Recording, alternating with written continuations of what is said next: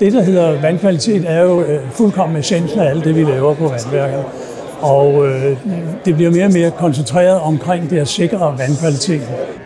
Vi leverer urenset, rent grundvand ud til øh, forbrugerne, og øh, derfor så er det vigtigt, at vi kan stå inden for kvaliteten, både hos de forbrugere, der bor lige rundt om hjørnet, men også til de forbrugere, der bor 10 km væk.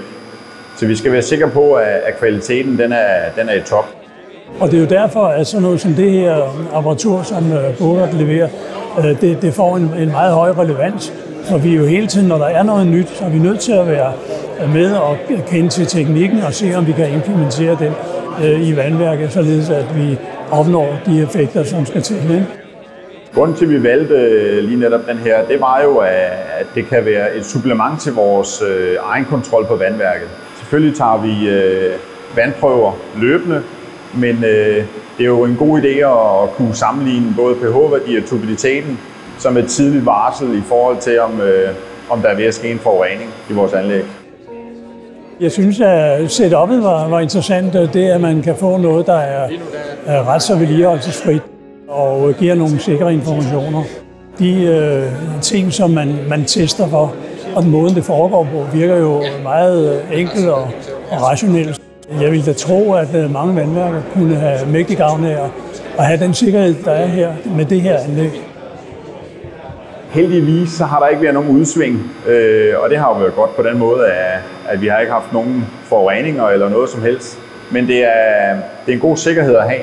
Det er en, en, en tryghed, øh, at man hurtigt kan se, øh, at vi trækker en kurve, og øh, den ser ud, som den plejer. Den er stabil, og den ligger der, hvor den skal.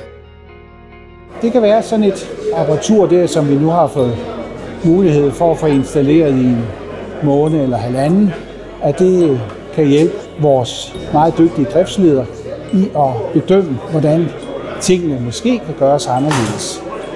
Og det kan jo, har jeg forstået, indstilles til at kunne klare forskellige parametre, så det, øh, det ser vi frem til. Vi har i dag været til temadag på Vandværk, hvor vi har fået en masse fin dialog omkring, hvordan vores system kan hjælpe med at optimere og sikre drikkevandskvalitet rundt omkring på vandværker. Er du også interesseret i en dialog omkring, hvordan vi kan sikre vandkvaliteten og optimeringen på dit vandværk, så tøv ikke med at kontakte mig. Fang mig på telefon eller mail.